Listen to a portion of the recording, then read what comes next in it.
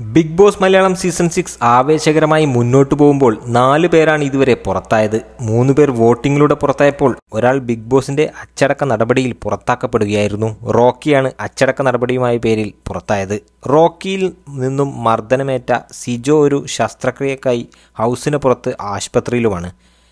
അതിനാൽ പതിനാല് മത്സരാർത്ഥികൾ മാത്രമാണ് രണ്ടര ആഴ്ചയ്ക്കിപ്പുറം ഹൗസിലുള്ളത്. ഇപ്പോൾ ഇതാ നിലവിലെ മറ്റൊരു മത്സരാർത്ഥിക്കും പരിക്കേറ്റിരിക്കാനുള്ള സാധ്യതയെക്കുറിച്ച് സൂചന നൽകിയിരിക്കുകയാണ് ബിഗ് ബോസ്. അർജുനാണത്. ഒരു ടാസ്കിനിടെ വീഴുന്ന അർജുനെ ഏഷ്യനെറ്റ് പുറത്തുവിട്ട പ്രോമോയിൽ കാണാം. ടാസ്കിനിടെ അർജുന് പരിക്കോ എന്ന ചോദ്യത്തോടെയാണ് പ്രോമോ എത്തിയിരിക്കുന്നത്. പരിക്ക് അർജുന്റെ മുന്നോട്ടുള്ള ഗെയിമിനെ ബാധിക്കുമോ എന്നറിയാൻ കാത്തിരിക്കേണ്ടി വരും. മുൻ സീസണുകളെ ഒക്കെയാണ് അപ്രതീക്ഷിതത്വങ്ങളിലൂടെ ബിഗ് ബോസ് മലയാളത്തിന്റെ പുതിയ സീസണും മുന്നോട്ട് പോകുന്നത്. ഇതിന്റെ അവസാനത്തെ ഉദാഹരണമായിരുന്നു റോക്കിയുടെ പുറത്താവൽ. ഒരു വാക്തർക്കത്തിനിടെ സിജോയുടെ മുഖത്തിടിച്ചതിനാണ് റോക്കിയെ ബിഗ് ബോസ് പുറത്താക്കിയത്. സംഭവമുണ്ടായി ഉടൻ തന്നെ കൺഫഷൻ റൂമിലേക്ക് റോക്കിയെ വിളിപ്പിച്ചു.